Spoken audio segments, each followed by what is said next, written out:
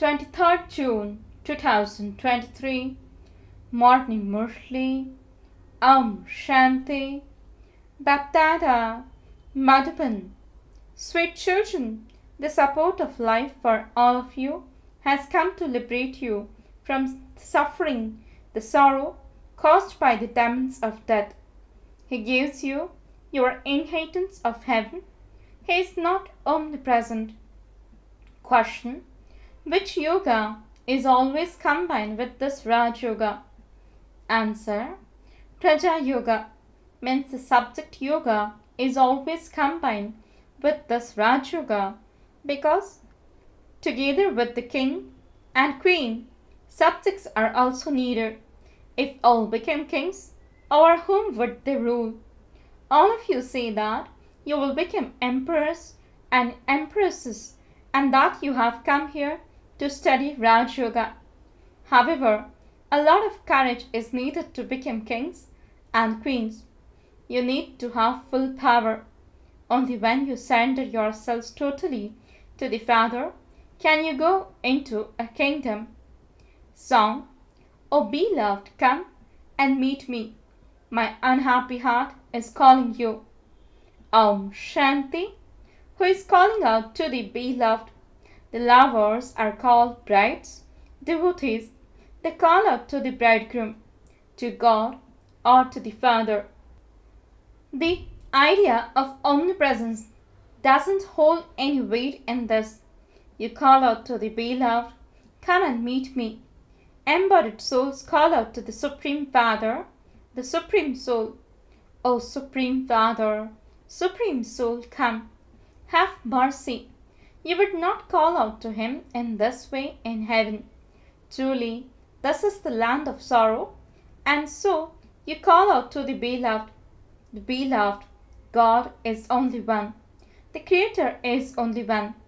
The world, that is the world cycle, is also only one. You children know that from the Iron Age, it will once again become the Golden Age. In the Golden Age, there will once again be the kingdom of the original, eternal deities. This is knowledge. You children know how the beloved has come. Shiv is incorporeal. All of you are incorporeal souls. You have come here to play your parts. How did the incorporeal Father come? Who taught you Raj Yoga? Sri Krishna cannot teach it. He is not the one who establishes the golden age. The beloved of all living beings, it's said to be the Supreme Father, the Supreme Soul, the incorporeal Creator. He says, You celebrate my birth at Shiv Jayanti. I do not take birth in the same way at Sri Krishna. Some children have been granted visions of how Sri Krishna takes birth from his mother's womb. The father says, I also have the name Rudra. It says in Gita, This is the sacrificial fire of the knowledge of Rudra. That is, it is the sacrificial fire created by Shiv. Therefore, incorporeal Shiv surely has to come here in a corporeal form. The father sits here and explains with just two words of the song. The idea of omnipresence is thrown out. Sri Krishna is not called the beloved. You see, O God the Father, O support of life, because He is the support of everyone's life. He liberates everyone from suffering the sorrow caused by the demons of death. Therefore, He definitely has to come. The Father says, I come at the confluence age of every cycle. This is the beneficial confluence age. After the golden age, there is a reduction of 2 degrees.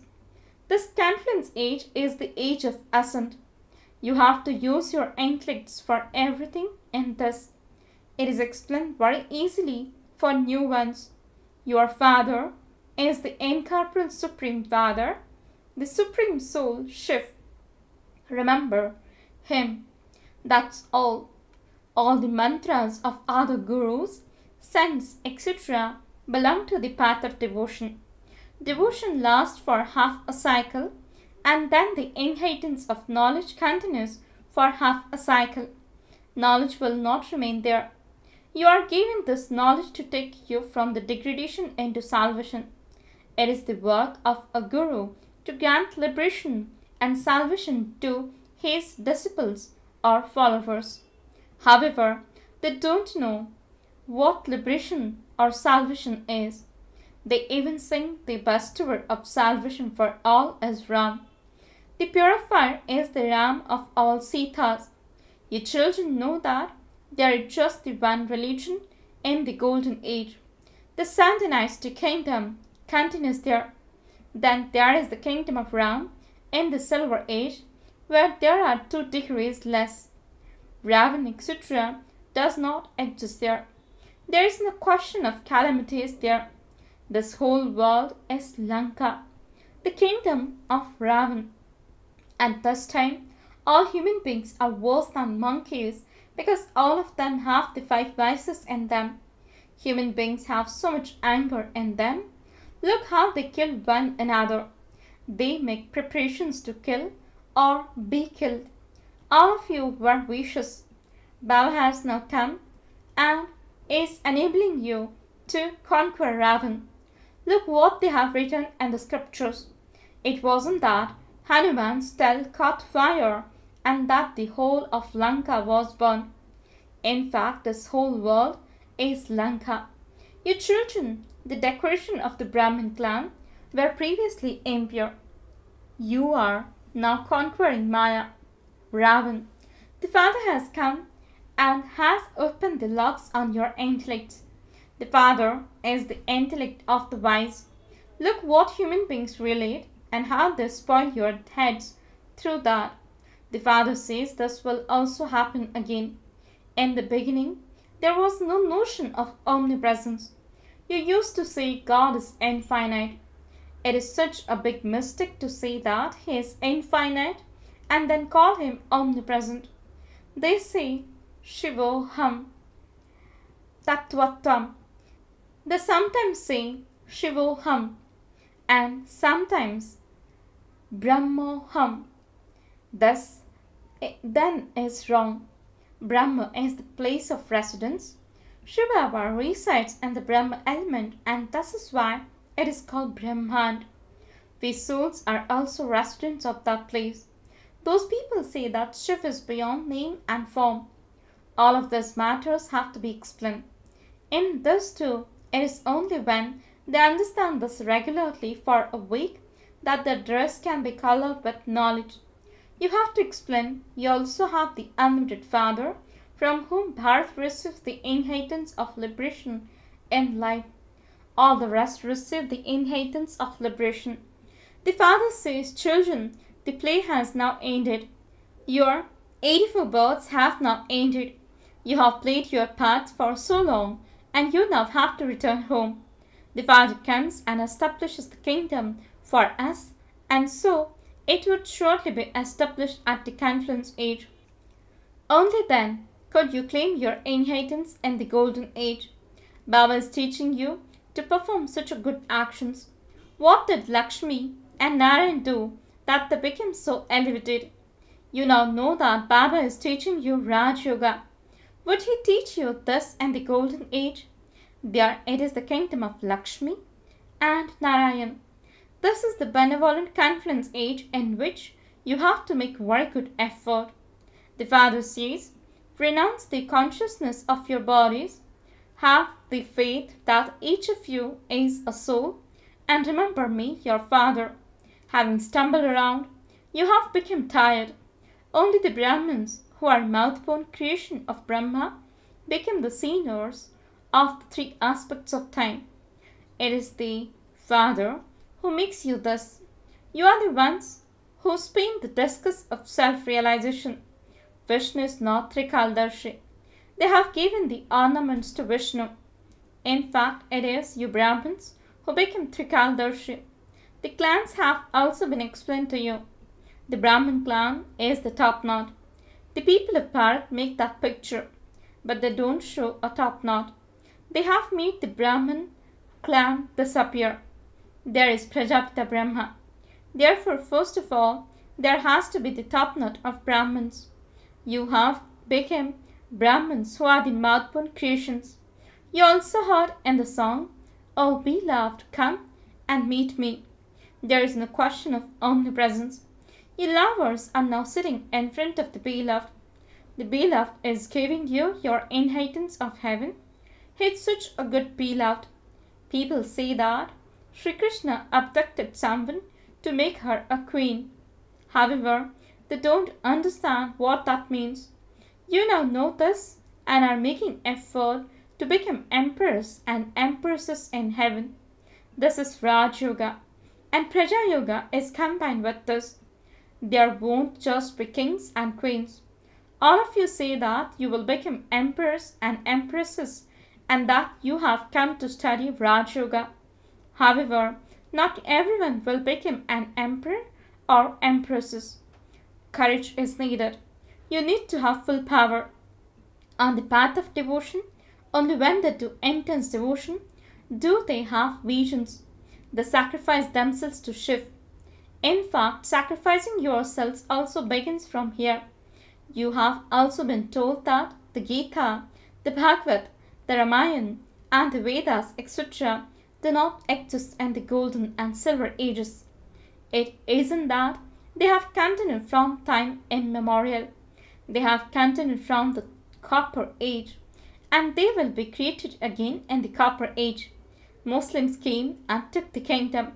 Muhammad Ghaznavi came and looted everyone. You now know all of those things. We changed from being what you worship to worshippers and build our own temples. Therefore, we must have had so much wealth. It is a matter of 5000 years and that too it's from the beginning. You also have so much wealth on the path of devotion. Just imagine what the palaces of those who built temples studded with the jewels and diamonds would be like. The name is so elevated. You see, Lakshmi and Narayan decorated so beautifully. Now poor helpless people have no money. Previously, they used to make everything for Lakshmi and Narayan with diamonds. Later, everything was looted and taken away. There, there were golden bricks, and you will your palaces with them. You used to be very wise. Now you have become senseless, and this is why you have become poverty stricken. They have made so many allegations against Sri Baba and the deities. This is why Baba says whenever there is extreme irreligiousness, I come. Only when I enter this one can I create Brahmins. When coming into Bharat, he created Brahmins through the mouth of Brahma. Would I go abroad? The one who was the foremost pure and worthy of worship, one has now become a worshipper and entered this impure body. They say Trimurti, but they have removed the word Shiv. There is no meaning in saying Trimurti Brahma. Baba says I entered this body at the confluence age of every cycle and create you Brahmins. This is the most elevated age of your Brahmins. You are now in God's lap. You are claiming your unlimited inheritance from Baba, God. You know that you will attain Him by remembering Him.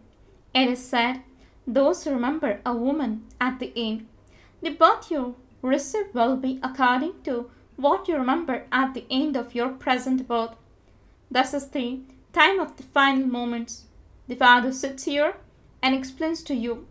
At this time, you must only remember me, the Father. May you be soul conscious. May you be bodiless. Have the faith that your souls and remember me, the Supreme Father, the Supreme Soul. You mustn't just sit down in one place to remember the Father. Children remembered their father while sitting, walking, and moving around.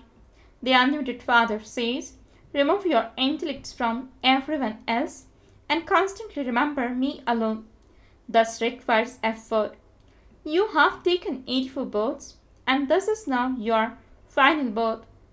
You now belong to the Father, and so He has given you such sweet names.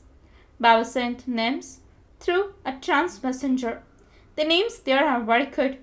Nevertheless, you will be given the same names that you were given in the previous cycle. You also have to explain the meaning of omnipresence. If all devotees are God, then what would they receive? Nothing at all. You are now in God's lap. You became Brahmins by being in God's lap. The Shudra clan has now ended for you. These clans are for the people of Bharat. You know that you were transferred from the Shudra clan and are now in the Brahmin religion. Those who became Brahmins and the previous cycle will become that again. The tree continues to grow. Baba tells you children such good things. However, when storms of Maya come, even good children fall. There is a battle. You are the children of the Almighty Authority, and so Maya too is no less. For half a cycle, it is the kingdom of Ravan. At this time, Maya will make you fall with great force. That is called a storm. There is the example of Hanuman. No matter how many storms of Maya come, you mustn't shake. Remain constantly cheerful. The more powerful you become, the more forcefully Maya will attack you. She will see whether you are worthy or not. Some say, Baba, I have dirtied my face. As soon as you dirty your face, your intellect becomes locked and you aren't able to imbibe because you have been defamed the Baba. A physical father also says you have defamed the name of the clan. Baba explains you must never become one who defames the name of the clan. The Father has come from the Supreme Abode to teach you. God speaks, I have come to make you into kings of kings. The kingdom will definitely be established. However, many of you became Brahmins at this time. That many became Brahmins last time, and you will continue to become Brahmins. Your children have to remember that the Father from beyond doesn't have a father of his own. He is the supremely knowledgeful seed of the human world, the living being, the purifier, the merciful, knowledgeful, and blissful one. No one gives bliss to him. He himself is the Father, Teacher, and Sadguru.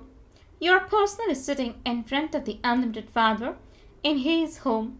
This is God's family. It will continue to grow. You keep the cycle of 84 births in your intellects we take this many births as deities. We take this many births as warriors. We will then become deities again. Maya creates the land of sorrow. The Father comes and creates the land of happiness. It is so easy. You should make a lot of effort. The effort you make now will become your effort for cycle after cycle. You would say, we have been making effort like this every cycle. Mama and Baba also make effort. They will then become the worthy of worship deities, Lakshmi and Narayan. We become the most elevated of all by following Srimad. Acha, to the sweetest, beloved, long lost, and now found children, love, remembrance, and good morning from the mother, the father, Bapdada. The spiritual father says, Namaste to the spiritual children. The spiritual children says Namaste and good morning to the spiritual father. Essence for the dharana. First point. At this time of the final moments, practice remembering the one father alone. Become bodiless. Second point. Never become one who defames the name of the clan. Don't shake in the storms of Maya Remain constantly cheerful. Blessing. May you be a yogi soul who gives visions of the power of your mind and the mirror of your face. Explanation. Whatever is on your mind is definitely revealed on your face. Do not think that you have a lot on your mind. The mirror of the power of your mind is your face. No matter how much you say that your yoga is very good or that you are constantly dancing in happiness. When people see your unhappy face, none of them would believe you.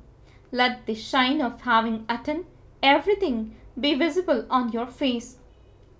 Let your face not be seen as dull, but let your face be seen as happy. Only then will you be called a yogi soul. Slogan When you have an easy nature, speak simple words, and perform simple actions, you will be able to glorify the Father's name. Om Shanti